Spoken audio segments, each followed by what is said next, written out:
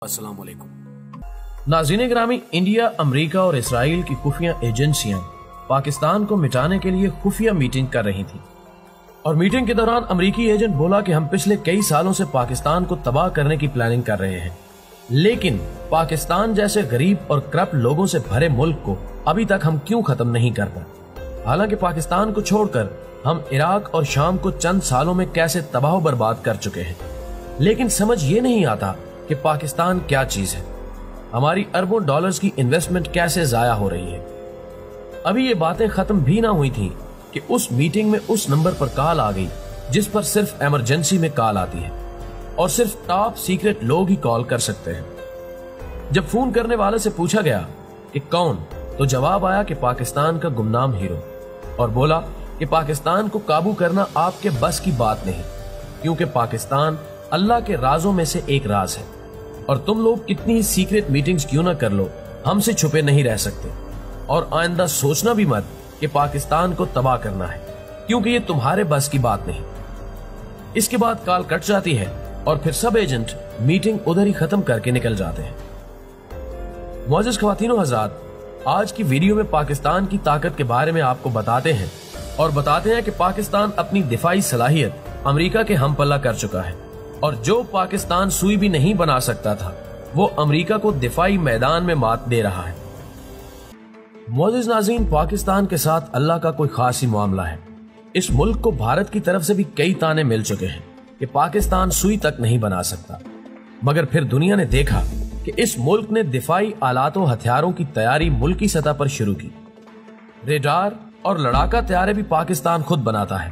یہاں تک کہ پاکستان نئے جدید ترین تربیتی تیاروں کے علاوہ پانچویں نسل کے لڑاکا تیارے بھی خود بنانے جا رہا ہے۔ پاکستان آئندہ چند سالوں میں سٹیل ٹیکنالوجی کے حامل مختلف قسم کے ہتھیار، جن میں لڑاکا تیاروں کے علاوہ آبدوزیں اور مزید میزائل بھی شامل ہیں، بنانے کے قابل ہو جائے گا۔ پیارے دوستو، ایٹم بم کی تیاری کے لیے جس مشین میں یورینیم کو افزردہ کیا جاتا ہے، اس مشین کو سینٹری فیوج مشین کہتے ہیں۔ یہ نہایت تیزی سے گھومتی ہے اور ایک سیکنڈ میں کئی ہزار چکر لگاتی ہے۔ بعض وجوہات کی وجہ سے یہ صرف ایلومینیم سے ہی بن سکتی ہے اور اپنی تیز ترین رفتار کی وجہ سے چند گھنٹوں میں ناکارہ ہو جاتی ہے۔ پاکستان دنیا کا واحد ملک ہے جس نے سینٹری فیوج مشین سٹیل کی بنائی ہے، جو کئی ہفتوں تک کارآمد رہتی ہے۔ اس معاملے میں پاکستان نے امریکہ سمیت دنیا کے سارے ممالک کو پیچھے چھوڑ دیا ہے۔ پاکستان اپنی بنائی گئی اس سینٹری فیوج مشین کی مدد سے پاکستان یورینیم کو ستانوے فیصد تک افزودہ کر سکتا ہے، جس کے بعد آپ اس کو بے خطر ہو کر ہاتھ میں پکڑ سکتے ہیں، کیونکہ اس کی تابکاری ختم ہو جاتی ہے۔ جبکہ بھارت یورینیم کو صرف پچاس سے ساٹھ فیصد تک افزودہ کر سکتا ہے، جس کے خطرناک تابکاری اثرات سے متاثر بھارتی ایٹمی پلانٹوں میں کام کرنے والے بہت سے مریض دیکھے جا سکتے ہیں۔ لیکن اس سے بھی زیادہ بڑا نقصان یہ ہے کہ افزودہ یورینیم مختلف عوامل کی بنا پر پھٹ سکتی ہے۔ مثال کے طور پر، اگر کسی بھی بھارتی نیوکلیر پلانٹ پر روایتی ہتھیاروں سے حملہ ہو، تو وہ کسی ایٹمی دھماکے کی طرح پھٹے گا۔ لیکن پاکستان کی افزودہ شدہ یورینیم اس خامی سے پاک ہے۔ امریکہ نے کافی عرصہ پہلے یورینیم دھات کی ایک پرت بنائی جو دنیا کی سخت ترین دھات بن گئی۔ اس دھات سے پھر امریکہ نے جنگی ٹینک بنانے شروع کر دیے۔ عراق پر حملے کے دوران انہوں نے اپنے انہی ٹینکوں میں سے کچھ ٹینکوں کو بغداد میں داخل کیا، جن پر صدام کی فوج نے اپنے سارے ہتھیار آزمائے۔ لیکن ان ٹینکوں پر ذرا اثر نہیں ہوا، جس کے بعد صدام کی فوج کے حوصلے پست ہو گئے۔ دوستو، پاکستان امریکہ کے بعد دوسرا ملک ہے، جس نے وہی یورینیم کا برت بنانے میں کامیابی حاصل کر لی ہے۔ مگر پاکستان فی الحال ایسے ٹینک بنانے کی پوزیشن میں نہیں ہے۔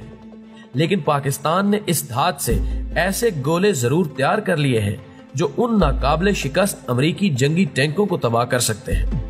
ایٹم بم بنانے کے لیے ایک زنجیری عمل کی ضرورت ہوتی ہے، جس کے لیے یورینیم کی ایک خاص مقدار درکار ہوتی ہے۔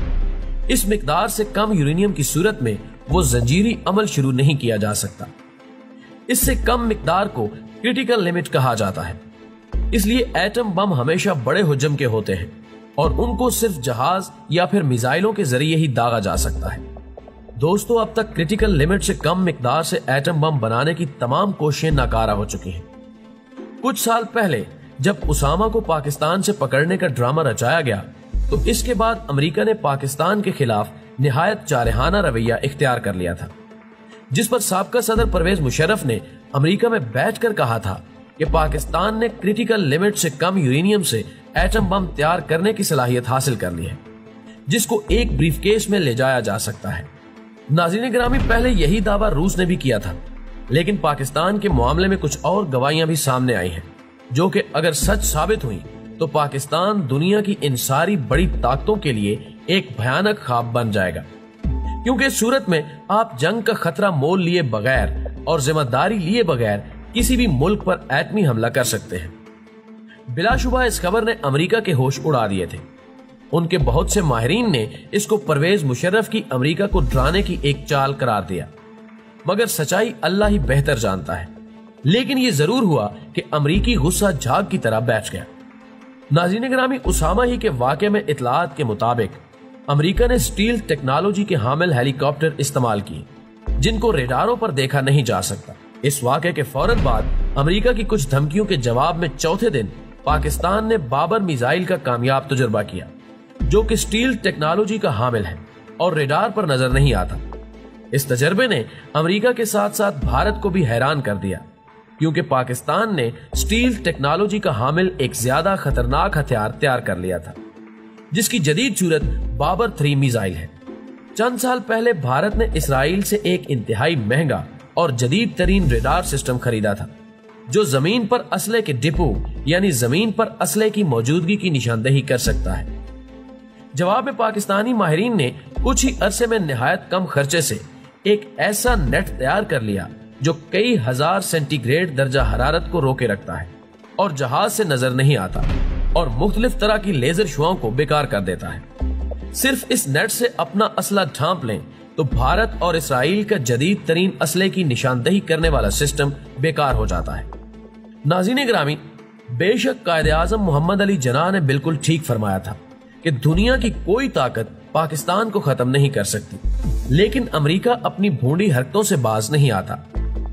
افغانستان میں اپنی مسلسل ناکامیوں کا ٹھنڈے دل و دماغ سے تجزیہ کرنے کی بجائے، امریکی اب تک نائن الیون کے ماحول اور مزاج سے باہر آنے کو تیار نہیں۔ اس لیے پاکستان کے خلاف دنیا کے ہر محاذ اور فورم پر ایک مقدمہ گھڑا جا رہا ہے۔ عالمی اداروں میں پاکستان کی مخالف فضا بنائی جا رہی ہے۔ پاکستان کہیں عالمی فورم پر اپنا مقدمہ لے کر پہنچے تو اسے کمزور کرنے کے لیے تمام حربے استعمال میں لائے جاتے ہیں۔ حد تو یہ ہے کہ امریکہ اور مغربی لابی جو باتیں چین اور روس کے بارے میں کہہ نہیں پاتی، وہ پاکستان کا نام لے کر کہی جاتی ہیں۔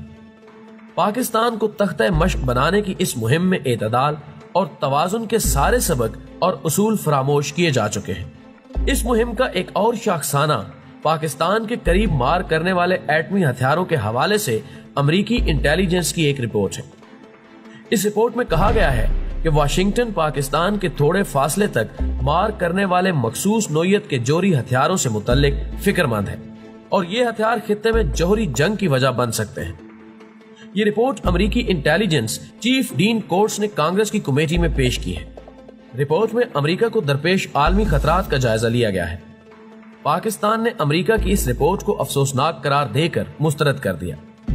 دوستو، پاکستان کے ایٹمی ہتھیاروں سے متعلق امریکہ کی یہ رپورٹ قطعی نئی نہیں ہے۔